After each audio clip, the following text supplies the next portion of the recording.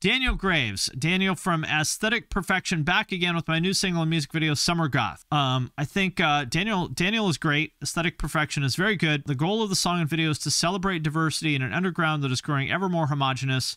It uses absurdism and shock value to challenge the expectations of both my audience and new listeners. It's already proven very divisive. Okay. Well, if you're dividing people, then you're probably doing something right.